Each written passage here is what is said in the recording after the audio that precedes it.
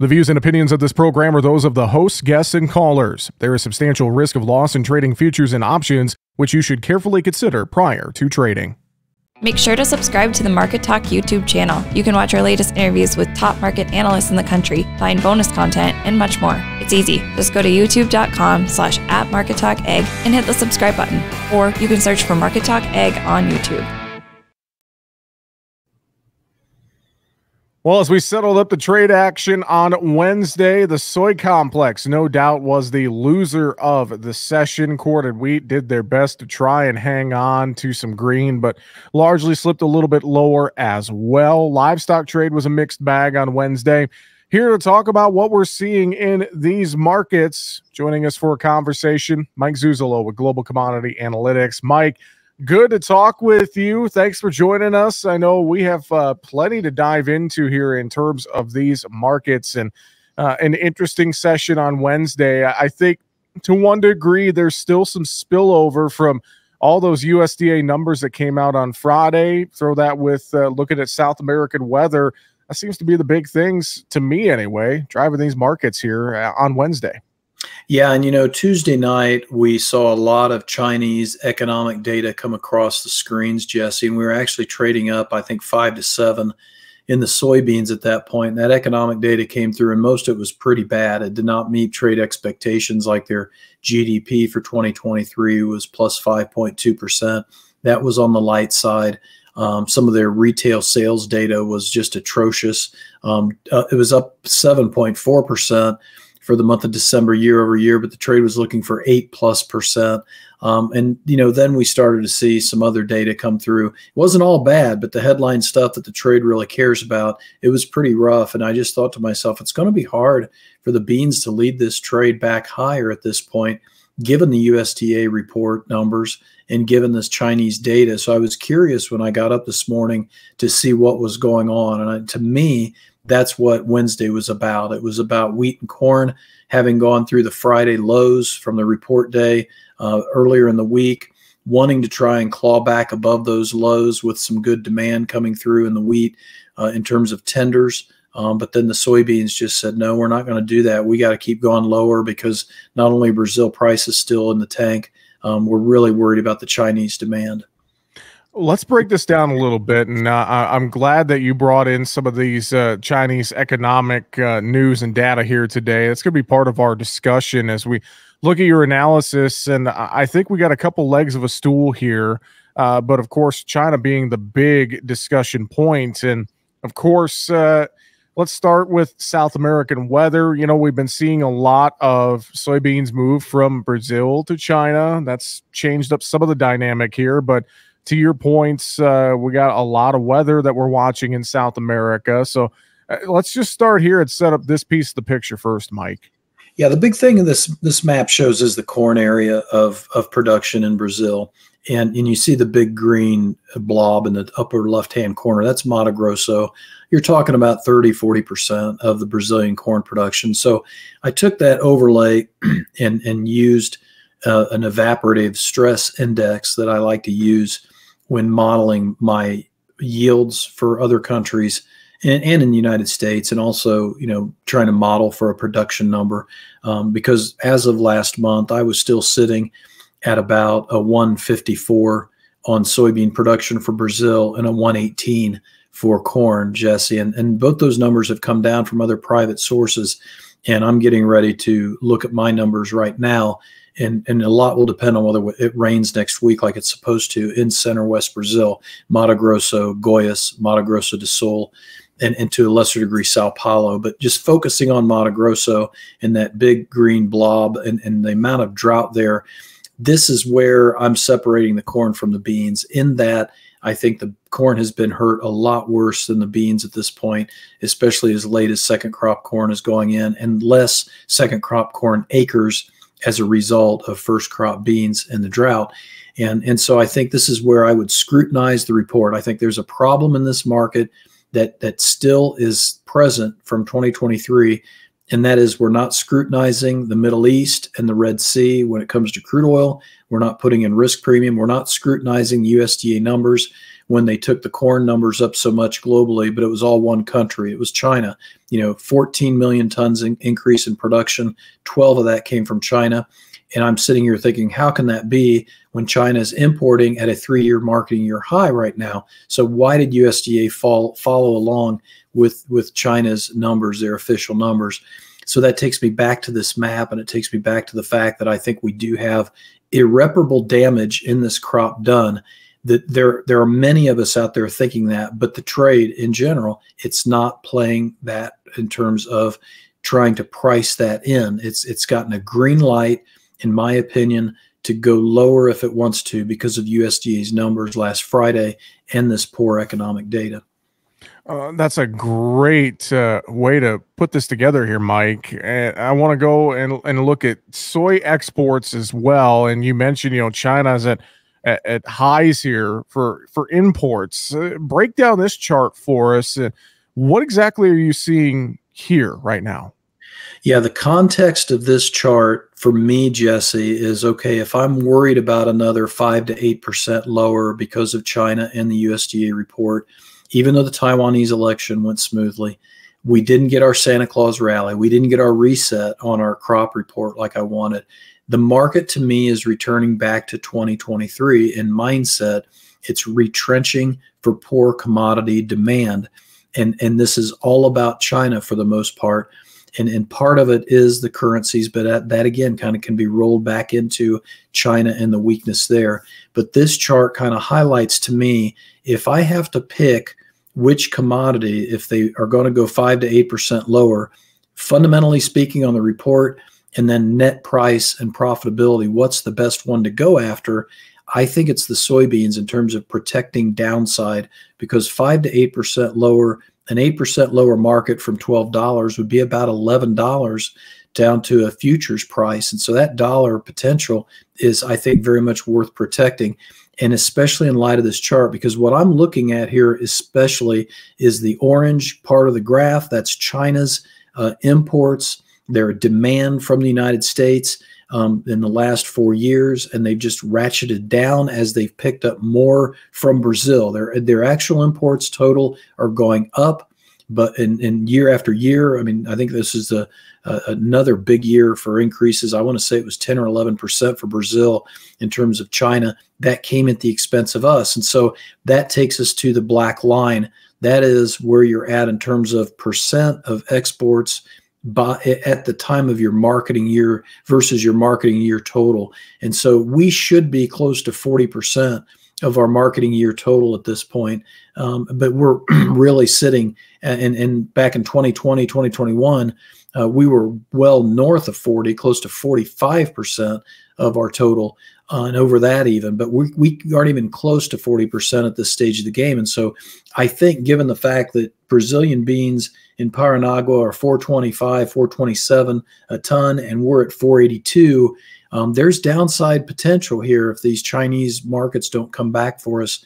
And I guess I want to ask why would they, given their negative crush margins, given their hog situation, and given the cheaper Brazilian price? So this chart's about laying out the idea for my clients and subscribers why I want to hedge with puts if we take out Friday's lows, last Friday's report day lows in beans, the beans, and not necessarily do any corn or, or wheat.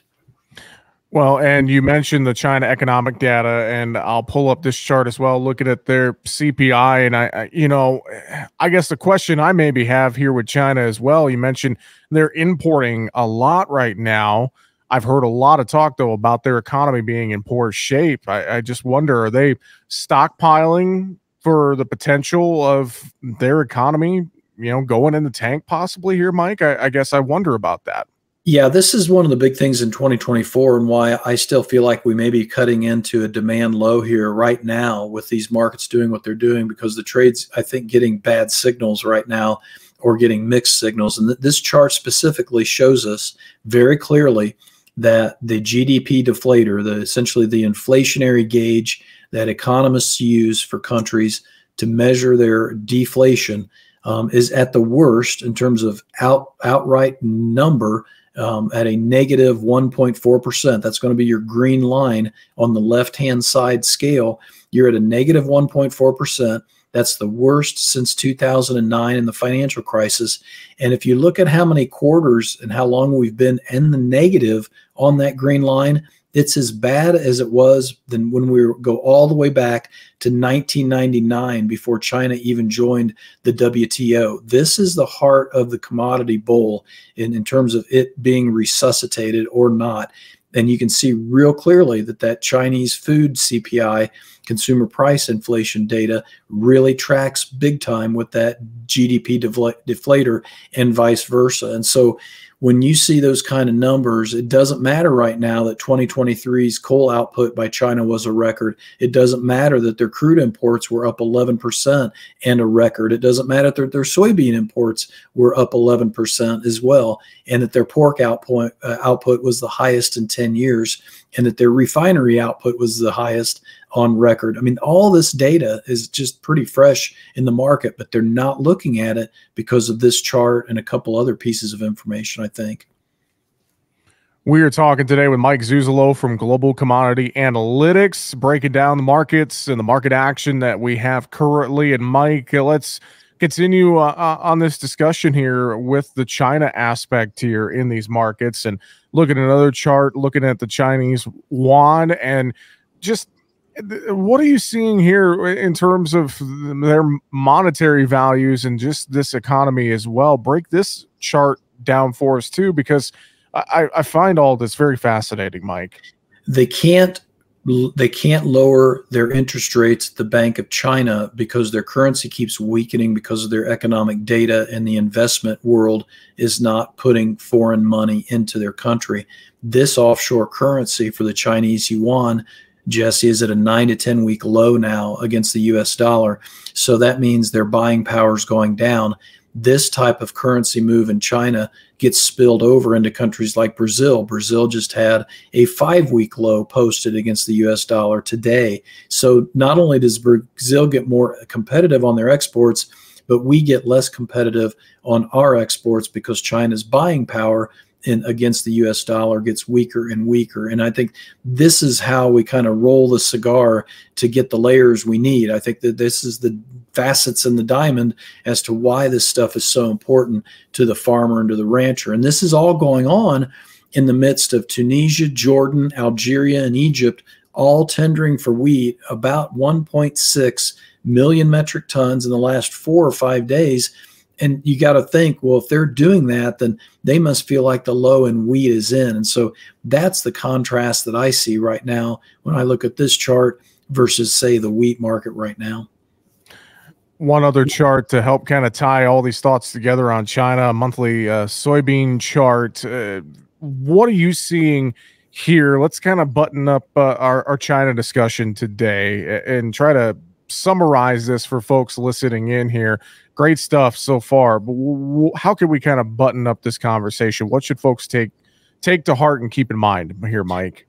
Yeah, two things. This is 50 years of data on soybean lead month futures, and you've got one more low left after Friday's report, that's about 1170, and that takes you back to the 2020, 2021 time period. I don't want to wait for that low to be violated. I, I'm going to go after this market if we take out Friday's report day lows anytime this week and get those May puts bought in the soybeans because of the orange line, because there is really no support that you can see, technically speaking, in that chart until you get down to the long term trend that is drawn off of guess what? The 2000, 2001 time period. So when traders and analysts and commodities are, I'm a contrarian right now thinking that we don't need to go to 2015 to 2019 price levels again. But when they talk about this, that's why they're saying that is because you've got some real downside, technically speaking, on some of these long-term charts. The last thing I'll say about this chart is the very bottom right corner is a stochastic. It's an oscillator. It's a sentiment indicator that I like to use, and it's very oversold, which means there should be fewer and fewer new sellers coming into this into the market. But when you're talking about something so big as China, Jesse, I don't think you can rely too heavily upon that. And and kind of to cushion myself, that's why I'm doing the bought puts and I'm not selling a lot of cash bushels here. I'd rather start with the puts and see if this is a quote false breakout to the downside. And then if my puts don't work, I've still got plenty of cash to help offset that potential put loss. Any differences for you two? One more thought in grains uh, between old crop versus new crop marketing at this juncture, post USDA report. Are there are there many major differences for you right now, Mike? Yeah, I think the thing that for me is is that we still need the acres in both corn and beans, less so in the beans because we're now at a 280 million bushel carryover. But to me, Jesse, that 280 million bushel carryover, if, if, it's really there, I don't see much daylight in the cash basis for soybeans until we get closer to April when Brazil should theoretically run out. But this all goes right back to the whole idea of how big is the Brazilian crop and how big is the Argentine crop to offset the Brazilian crop. So I, I see more um, volatility in the old crop and, and especially in the basis side of the equation than maybe the new crop. All right, let's talk livestock a little bit here before we wrap up today's program. Uh, look at one more chart. Look at the cattle hog spread. Uh, what are you seeing right now? What are the dynamics in these uh, livestock markets in the protein sector here post WASDE report for you, Mike? Well, this chart to me is very important because I, I, do think we're still running kind of a 2015 model year, and last year was like 2014. And this chart kind of helps show some similarities as far as the price action in cattle versus hogs. Uh, and we've gotten some pretty negative data from China when it comes to their top three hog producers. And so it would make sense to me that the cattle chart would hold up, that trend line would hold up against the hogs. In other words, we wouldn't need to go below $100 premium on a weekly basis in lead month cattle minus lead month hogs. If we would, I would probably take that as a sell signal in the cattle. And that kind of wraps up with this week's cattle on feed and, and the placements numbers and the on feed numbers and it kind of wraps well with this weather market that really never materialized in, in terms of the plain states. It was supportive, but I don't think we really put any premium on this market, especially given that the USDA's Fed Cattle Comprehensive Report yesterday for the week showed us up about a dollar on steers and we're upwards of 175.70 now. So we should have a pretty easy path to higher cattle prices in the short term, if you ask me. I, I know too. I've been watching uh, the cutouts, uh, both choice and select on the cattle side have been creeping back up there towards uh, some lofty levels again. Mike, anything you can draw from some of that activity as well here to watch for in these markets? Yeah, and I th- I think that is one of the biggest features to this weather and what it's done to the packer and shutting in packers and not being able to get uh, market ready steers to the to the packer and and really tighten us up. But the trade in the futures market, I've heard them say, well, that's not that positive because you're backing up supplies. That just means heavier dress weights. We just can't get away from those big weights right now in terms of the trade psychology. So I historically, I think that when you have weather like this, it's net net a positive for prices because at some point you're probably going to have a hole in marketings and you're also going to have a lot lighter weights if it keeps up. But that's where next week's weather for South America and their production and next week's weather for us to be able to warm up again, they're pretty big deals if you ask me in the big in the big scheme of things, Jesse. Hogs too. Uh, one thought from you there. We've been trying to churn this market higher. I, I feel like we maybe hit a little bit of overhead resistance here the last few days, Mike. I think we have, and I don't like the new Chinese data. The three biggest hog producers out there in China have pretty much held on with bigger numbers until just right now. They tried to ride the bad times out, but their their cash flows are just getting eaten up, and so they are still in the midst of liquidation, from what I can tell. So the hogs need cattle at this point, in my opinion. Well, great analysis. Uh, I know we took a, a deep dive into uh, the soy market here, especially today, but always uh, appreciate the conversation. And Mike, if folks want to reach out to you with questions, take a look at your research and more, how can they get a hold of you, Mike? Best ways to go to globalcommresearch.com, Jesse. It's globalcomm with two M's, research.com. And I'll be doing a report to clients and subscribers. So please sign up for the uh, for the analysis and be part of that uh, analysis on this soybean hedge recommendation, which will include some uh, put uh, projected profit loss charts that I like to do. Globalcomm with two M's research.com. That's where you could find more from Mike Zuzolo with Global Commodity Analytics. Mike, always a pleasure. Thanks for joining us. Have a great week. We'll talk to you next week. Thanks, Jesse. Appreciate you helping me explain all this. You do a great job. I, well, I, I do the best that I can some days, Mike. But uh, thank you as always, and uh, appreciate your insight. Mike Zuzolo with Global Commodity Analytics joining us here today on Market Talk. We're out of time. Find us at markettalkag.com. I'm Jesse Allen. Have a great afternoon.